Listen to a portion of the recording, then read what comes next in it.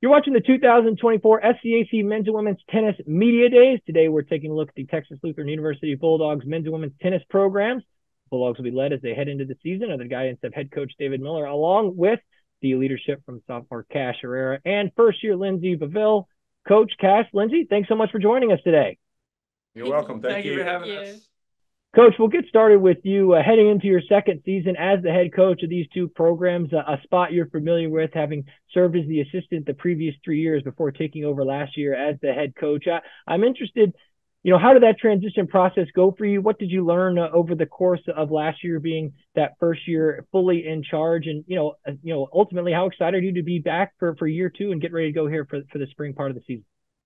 Absolutely great. I coached at a high school in New Braunfels for many, many years and, you know, very, very successful. And we're trying to get that same level here. And it's, I'll admit, it's not been easy. Uh, we're considerably better this year on the men's side. Uh, we had a lot of young players last year and they've worked hard and improved. And unfortunately, our, a lot of our women left. And uh, that's that's the challenge right now. Lindsay is you'll be speaking with her, but she's our top player, and we're trying to get a full team at at her level, and that's our goal. Uh, and it's as a coach, you try to keep players pumped up and excited, and I think they are. But when you're trying to turn a program around, it's you you it's hard at first because you don't have the success that you want to have.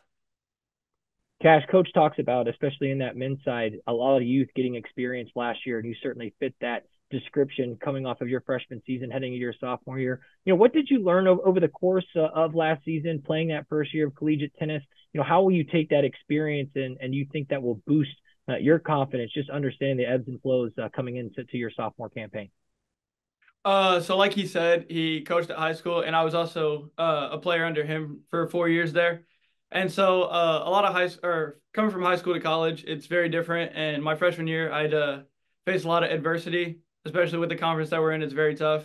So uh, kind of just dealing with that, uh, going from match to match, and just rather than thinking why did I lose, just thinking how can I improve from what I did last week, and just doing that and going forward each and every week, and just trying to improve my game rather than focusing on the score at the end. Lindsay, for you, uh, you know, Coach speaks uh, about how excited he is to, to see your development here at TLU, heading into your first season at the collegiate level. What are you most excited about coming into your first championship spring season? You know, what are you looking forward to the most, and what are you excited about as you embark on this new experience? So in the fall, me and the girls, we had a really great season. We pulled out some pretty big wins at the ITA regional tournament. And just jumping into the new spring season, I'm just looking forward to just team bonding more with the girls and just like seeing like where their heads are at. And I'm just looking forward to just the great experience, just playing college tennis. And I just look forward to just getting more wins under our belt. Coach, you mentioned you know starting to to work to turn the program around uh, and, and the challenges that you face as you've you know taken over as head coach. What are some things, maybe some philosophies, messages that you've really given to these two programs as you try and put your fingerprints uh, and work to to start to build these programs and lay that foundation? That's a very good question. And when I was in high school, we we had success almost every year. So it was never like starting over. And first, you need to try to change your mentality and that uh, play hard every match, give it your all, and try to learn from it with the eventual goal of we need to start pulling out some wins. And our men's men's team is really right on the cusp of that happening. We've uh, played our last three matches really, really well. And this week we play some Division two and NAI schools, and it's going to be that's going to be a challenge, but we're looking forward to that. And uh, when we start our conference matches, I think we're going to be in the hunt with a lot of them this year. Where in the past we were just showing up and trying to win a match or two. Now we're hoping to do much better than that. Cash, you mentioned some of that adversity that you faced over the course of your first year. Coming in now to your sophomore campaign, off to a wonderful start already in the start of the spring season, uh, being named SCAC Singles Player of the Week earlier in the year. Speak a little bit to, to where your game is right at right now. What have you worked on uh, over the course of the fall season coming into this spring? And, and when you're playing well, uh, where, where are you most comfortable uh, out there on the court?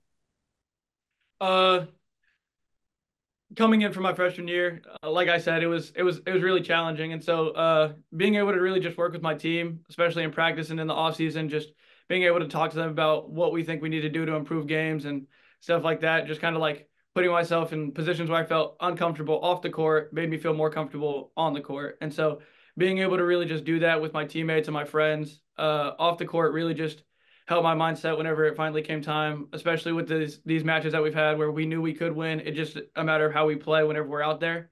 And so I think I'm just most comfortable whenever I just like really feel well and I have like the support of my teammates and friends all behind me, like being able to be out there on the court with them.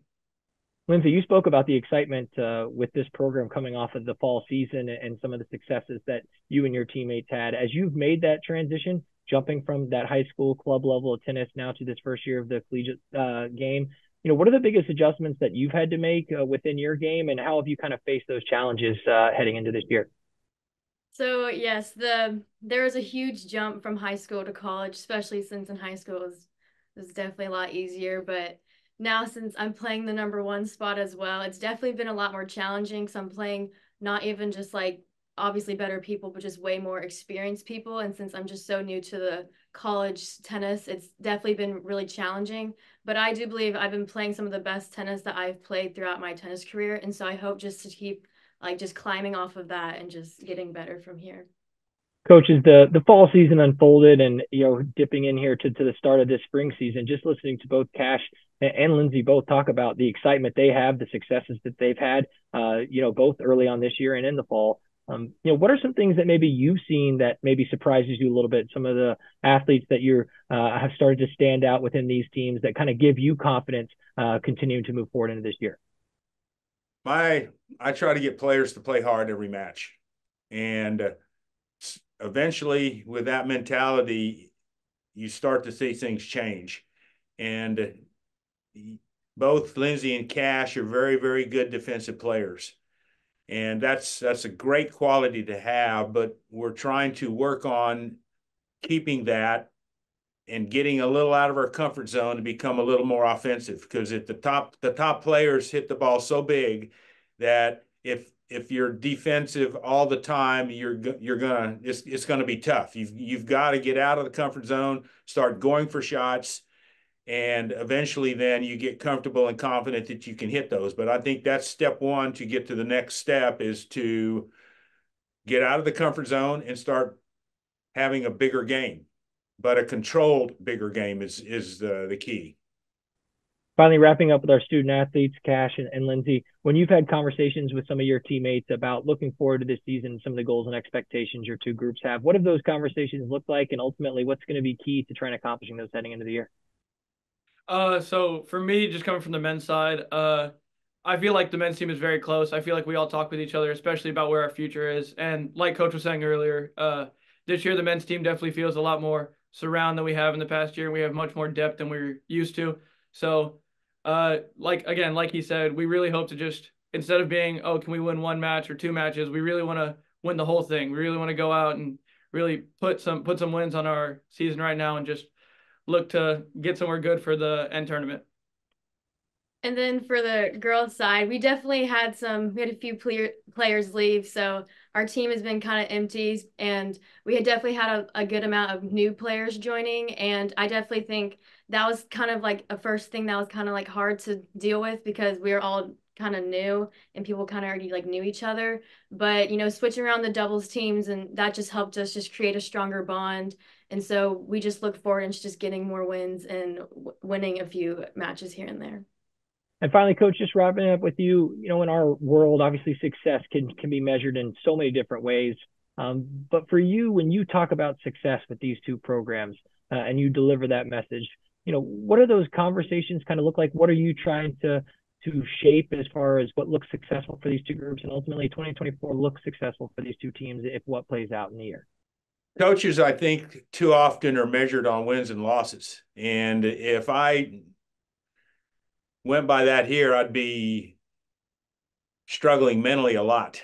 And you've got to take little steps.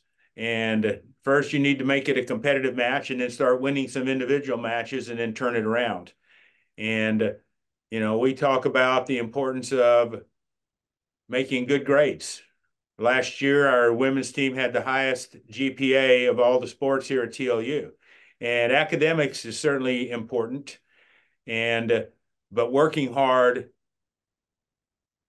is, I think, just as important on the court. And if you put in the hours, you put in the time, you're gonna, you're the success will come. It may not come tomorrow, but it's gonna come, and you just got to keep going forward and learning from each day and trying to become better as a person and a player.